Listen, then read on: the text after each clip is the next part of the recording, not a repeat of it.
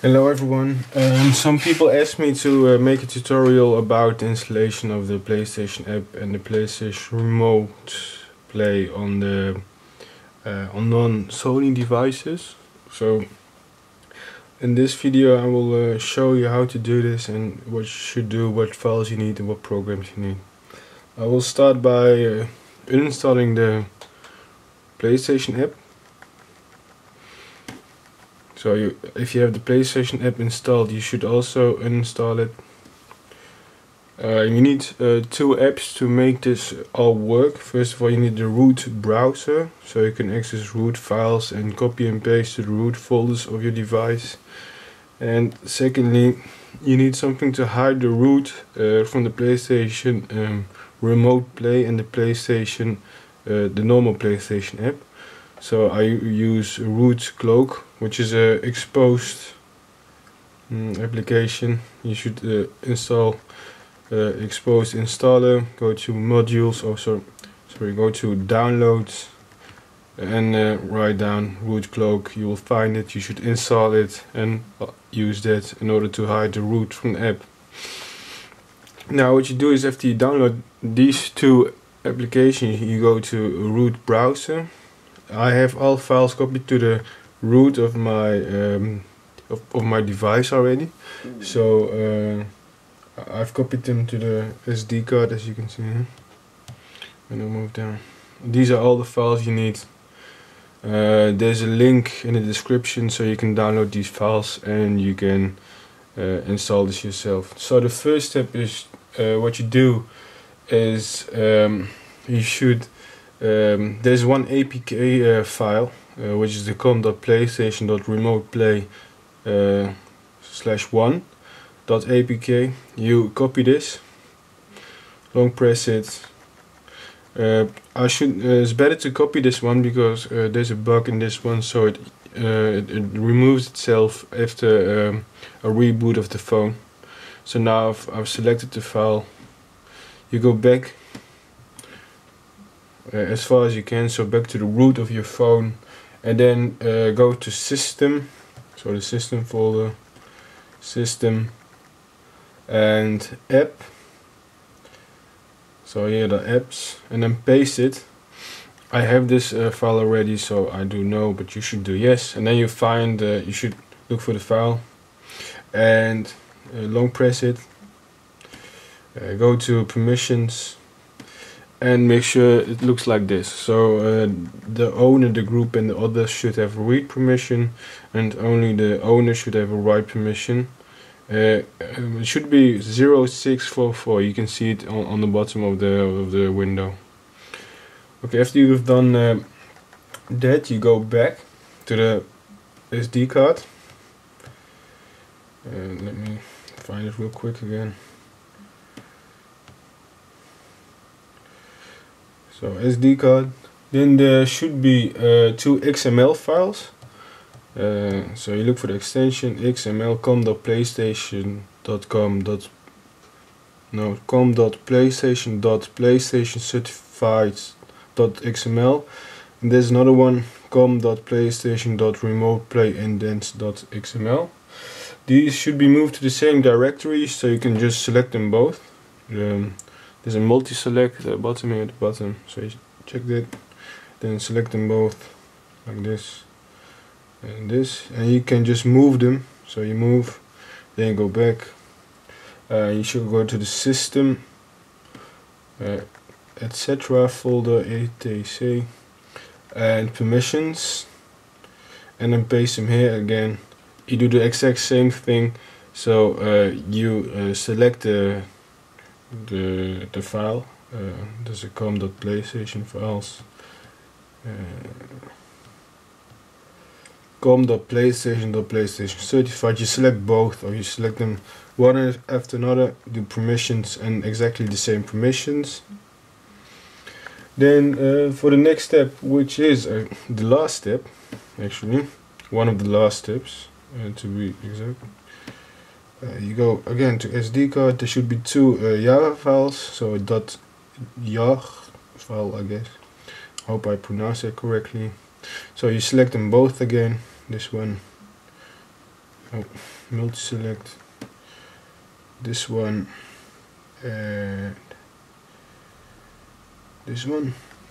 You select them both you move them and you go back to um, system framework directory. So system framework paste them here do the exact same thing with the permissions so uh, read write uh, read write uh, read and read. Um, that's it. Then you should reboot your phone. So let's quickly reboot.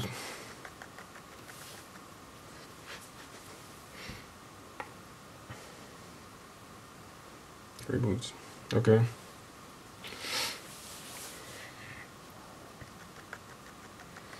uh, by doing this you also install the remote play app uh, into your phone.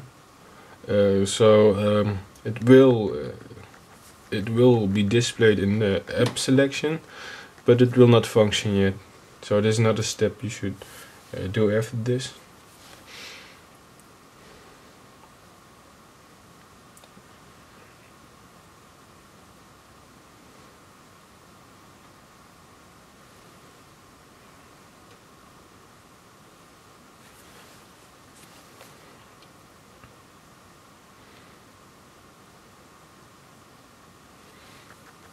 Your device, your SIM pin, or whatever pin you have. You go back. You go back to the root browser. Uh, you go to the SD card.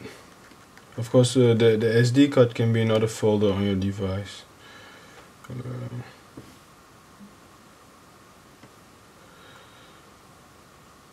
SD card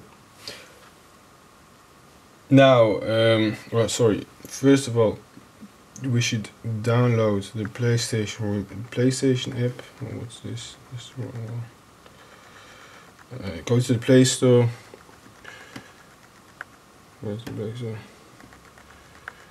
write down PlayStation.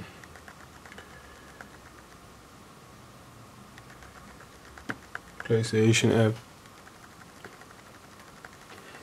Install accept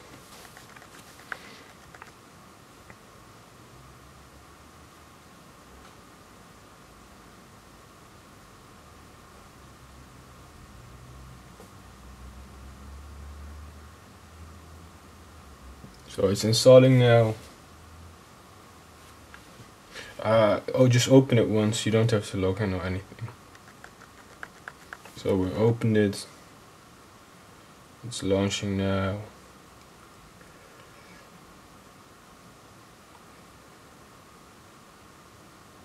Yes.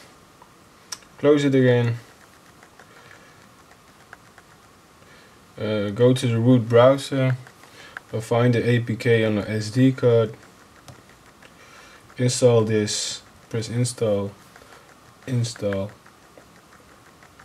Should install like normal press done go back go to RootCloak and now add remove apps. Now ventcom.playstation should be the PlayStation remote play. Uh, you should add them here actually with the plus sign. Find com.playstation and you should also look for the remote play app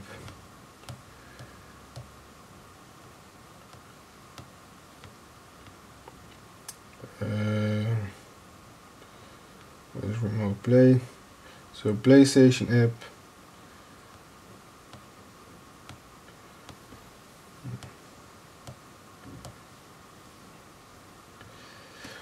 PlayStation app and PlayStation remote play. I have them both actually. Already?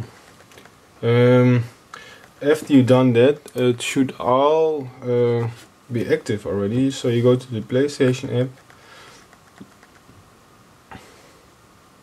you press connect PlayStation 4 PlayStation rest mode.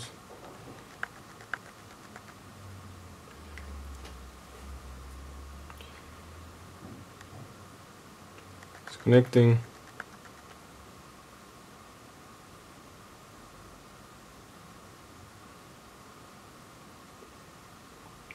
I don't know if it works like this since uh, have my PlayStation on. So uh, let me quickly adjust this so you can see my screen. Like this. Let me change the HDMI. So I start my PlayStation.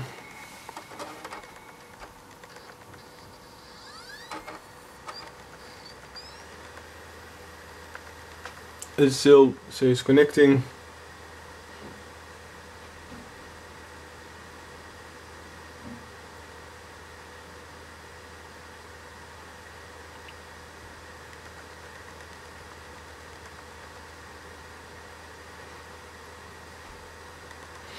It's connected to my PlayStation. Like you can see here, it's connected. Press PlayStation for remote play. Press next.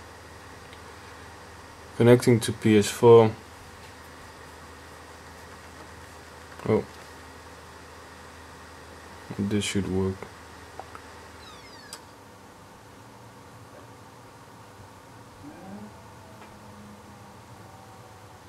And now you have uh, remote play, simple as this. I hope um, there's enough information. If you still have questions, please uh, feel free to post a comment and I will try to help you. Thank you.